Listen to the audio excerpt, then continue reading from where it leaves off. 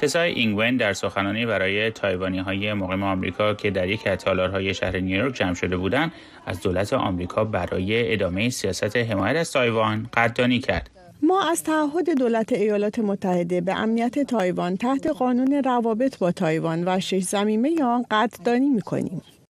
او در ادامه پیامی هم برای شهروندان تایوانی داشت و خواستار حفظ اتحاد در برابر هرچه تایوانی ها متحد تر باشند تایوان امن‌تر خواهد بود و هرچه تایوان امن‌تر باشد جهان امن‌تر خواهد بود.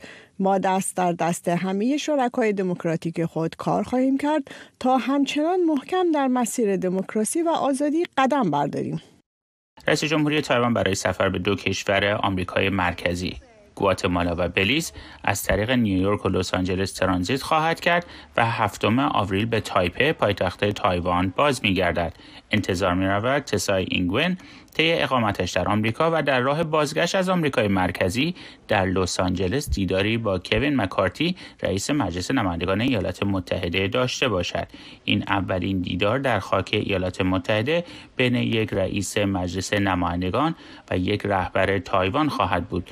مسئله ای که خشم پکن را برانگیخته است چین به دیدار نانسی پلوسی رئیس پیشین مجلس نمایندگان در اوت سال گذشته از تایوان با انجام مانور بزرگ در اطراف جزیره تایوان پاسخ داد.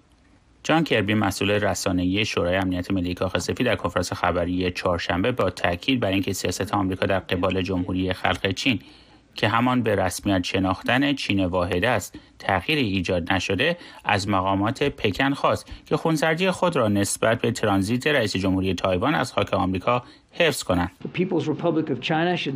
جمهوری خلق چین نباید از این ترانزیت به عنوان بهانه‌ای برای تشدید هر گونه فعالیت تهاجمی در اطراف تایوان استفاده کنه.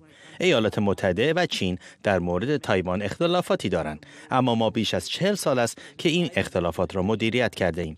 پرزیدنت بایدن و دولتش خطوط ارتباطی با پکن را باز نگه داشتند. تایوان با اسم رسمی جمهوری چین که به نامهای چین تایپه، چین ملی و فرموز شناخته می شود، شریک مهم واشنگتن در پهنه اقیانوس های هندو و آرام و دریافت کننده اصلی کمک های نظامی ایالات متحده است. ایالات متحده، تایوان و متحدان آنها در منطقه در حال افزایش آمادگی نظامی خود با هدف بازدارندگی یا دفاع در برابر هر گونه اقدام نظامی احتمالی در آینده توسط جمهوری خلق چین هستند. دولت ایالات متحده طبق قانون فدرال موظف است که تجهیزات نظامی لازم برای دفاع از خود را در اختیار تایوان قرار دهد. فرهاد پولادی، سر آمریکا